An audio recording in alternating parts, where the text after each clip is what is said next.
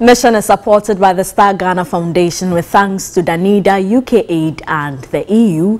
Residents in Brofredo in the Goma West District of the Central Region are appealing to authorities to construct a health facility to enable them enjoy quality health care. Residents currently access health care from a chemical seller in the community.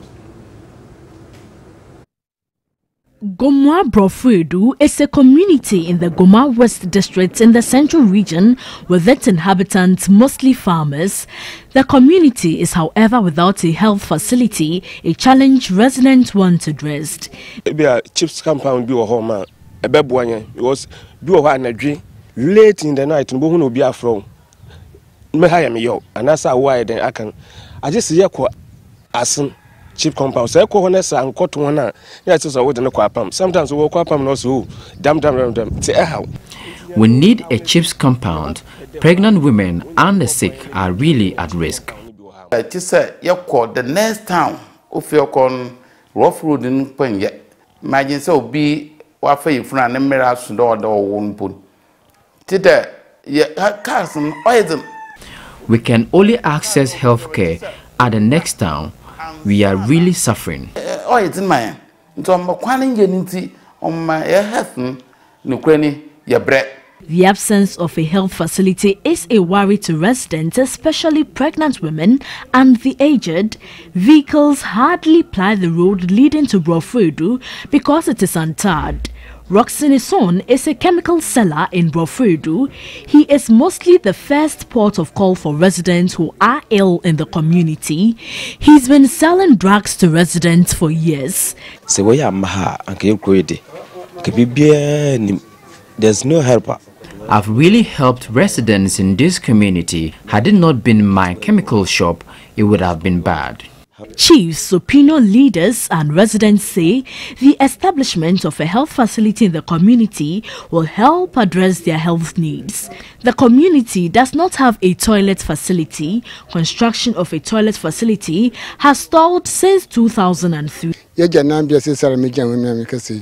202 na just edu abedu obesi mehen obesi mehen ebubu. Asat This toilet facility has not been renovated. We call on the authorities to fix it for us.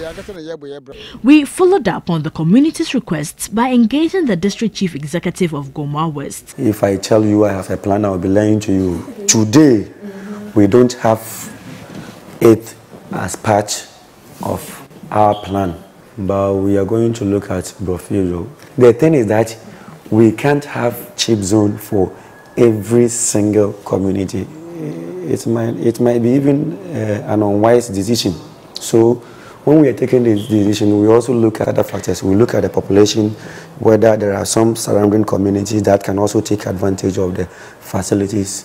Truth be told, uh, as an assembly, we have not planned a chips uh, zone for.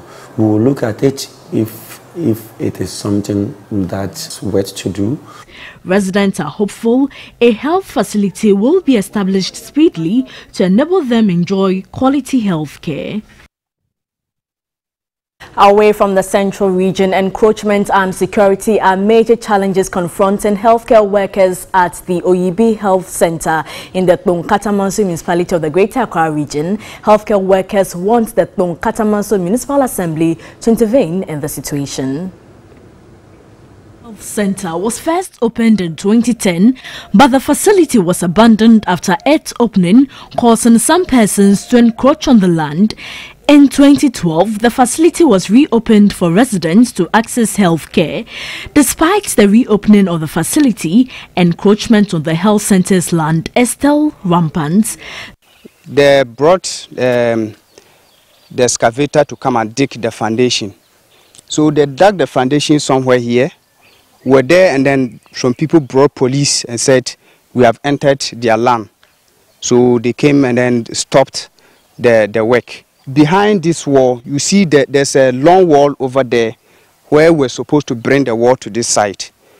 But because of the encroachment, the people said we should stop the work. So when we stopped, they quickly mobilized and put up this structure here. And they put this wall, this short wall that we are seeing over there. The land at Oyibi Health Center has been massively encroached on because the place was abandoned for some time. And at the moment, with the help from our Member of Parliament, Honorable Nila Afoteabo, we have been able to fence it, but not without having one or two issues with other developers who have also encroached on her land. That is not the only challenge. The water at the health center is salty, causing most equipment at the facility to rust. The situation has affected the building, causing it to deteriorate. We have problems with uh, water. It's not portable. we ha it has our minerals which rust our instruments and other things and because of that you know some cases that let's say suturing comes when you need to use an instrument everything will be rusty, so you cannot use it. Aside this problem, healthcare workers are also concerned about security at the facility. The Oyibi Health Center has no security personnel at post.